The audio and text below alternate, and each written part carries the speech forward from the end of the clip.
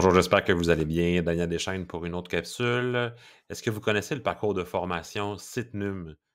Euh, le parcours de formation Citnum, euh, c'est un projet de Corinne Gilbert et de moi-même, donc vos CP locaux du récit. Ça a été réalisé euh, ces trois dernières années en collaboration avec tout plein d'acteurs, tout plein de CP, de chercheurs, de didacticiens qui ont participé à l'élaboration de ce parcours-là.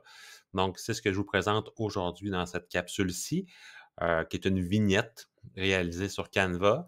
Et euh, vous aurez accès, dans le fond, via euh, les informations sous la capsule à un URL qui vous amène justement à cette, cette vignette-là.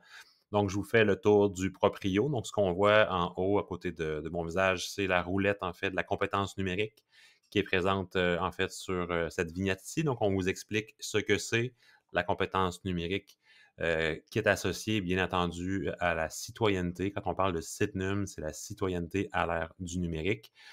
Au centre, vous avez euh, un accès à ce parcours de formation-là qui a été créé dans la plateforme Moodle.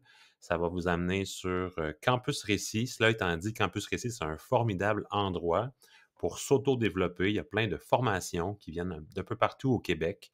Et cette formation-ci, justement, en provenance des découvreurs, est disponible à la grandeur de la province. Plusieurs centaines déjà d'enseignants du CSS des découvreurs se sont mis à travailler sur ce parcours-là.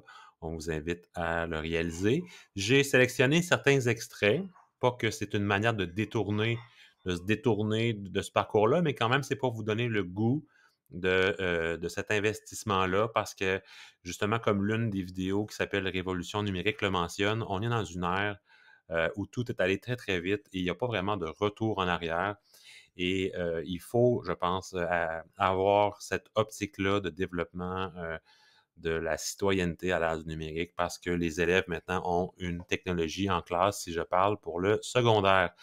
Vous avez euh, le lancement officiel qui a eu lieu de ce parcours-là le 31 mars dernier. Donc, moi et Corinne, on a animé ensemble un webinaire euh, durant une journée pédagogique euh, au primaire. Donc, je vous, je vous ramène à cette formation-là. Si vous préférez peut-être entendre nos voix puis comment on a présenté le, topo, bien entendu. Un truc qui est méga intéressant, en fait, quand il arrive des situations avec vos élèves, avec vous également aussi dans votre vie personnelle, c'est le temps d'arrêt réflexif. Donc, c'est en trois étapes. C'est un questionnement qui nous permet en fait justement de, se positionner parce que à, l'ère du numérique, ça va très très vite. Puis des fois, l'impulsivité dans, sur un média social, sur un chat, peut peut-être nous amener à poser certains gestes qu'on regrettera peut-être par la suite. Donc, je vous amène, je vous invite à, utiliser euh, cet outil-là. C'est bon dans, toutes les facettes euh, de, votre vie.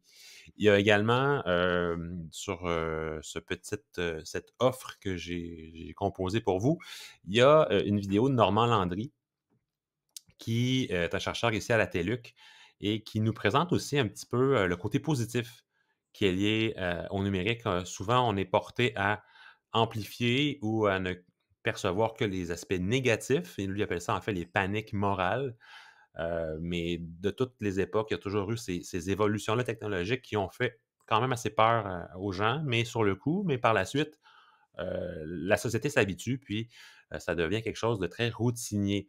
On n'a qu'à penser à, Wikipédia, on n'a qu'à penser à l'arrivée de ChatGPT. Bon, ce sont des, moments très importants, mais la société doit s'habituer à, cette technologie-là. C'est le lot, en fait, de, l'évolution humaine. Et finalement, ben, je vous laisse sur une vidéo de, Benoît Petit, qui est un chercheur, en fait, qui est un CP du récit, euh, qui travaillait à l'époque sur le, dossier ECR, donc maintenant CCQ, puis qui nous présente l'approche euh, qui, est, euh, qui est celle de la citoyenneté à l'ère du numérique. En fait, ce qu'il faut comprendre, c'est qu'on n'est pas deux citoyens dans la vie, pas un citoyen en temps réel, puis un dans l'univers numérique.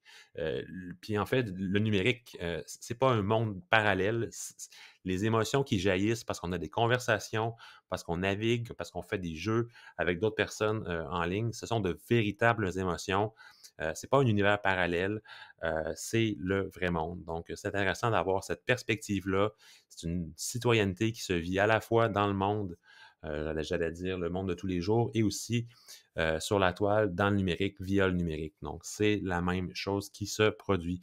J'espère que cette capsule vous a plu, puis vous donnera envie d'aller faire ce parcours de numérique-là, ce parcours de formation, la citoyenneté à l'ère du numérique au CSS des découvreurs. Merci beaucoup, puis bonne fin de journée.